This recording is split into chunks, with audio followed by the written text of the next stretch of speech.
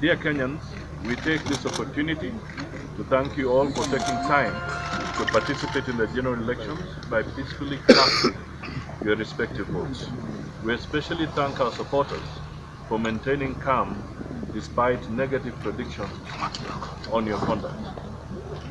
The legal requirement on the transmission of the presidential results by the Independent Electoral and Boundaries Commission is that the Commission must, one, electronically transmit the tabulated results from the polling stations in the prescribed form 34A.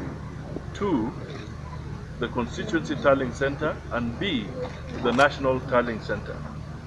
Two, tally and verify results received at the national tallying center. And three, publish Form 34A on the Commission online public portal. This means that the presidential results must be transmitted by way of scanning from 34A to match the replica copy on the KIEMS tablet for polling stations and from 34B for constituencies.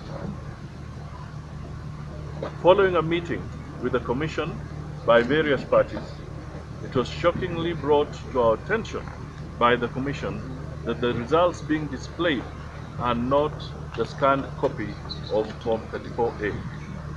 It is further shocking that the Commission has conceded that they have not received Forms 34A for the results so far displayed and are not able to match any result against any form received so far.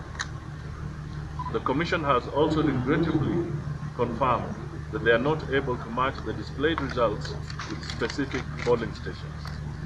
The above actions stroke commissions by the Commission are flagrant breach of the law. The Commission has also admitted instability of the system they are using to transmit results. They have been unable to explain the constant shutdown of the system and followed by bulk transmission of the presidential results without showing the polling stations. Most, the most disturbing aspect of the unlawful transmission of the results is the biased manner in which they are being displayed. As most of you have already noted, the results displayed so far do not include results from the NASA stronghold. Yet the same has already been streamed from the concerned polling stations. We do understand that the Commission is withholding these results with ulterior motives. The intention is to create a perception that does not reflect accurate results. The transmission is not in the manner prescribed by the law and do not constitute the legitimate results of the presidential elections and therefore should be ignored and discarded until the transmission are received electronically in terms of section 39 1c of the Elections Act above.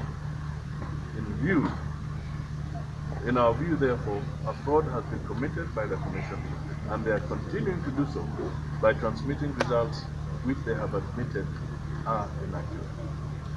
In fact, the chairman has said that until they have all the Form 34As, you cannot count on the results as. So we are wondering why the continue to transmit and is serious uh, shortcoming.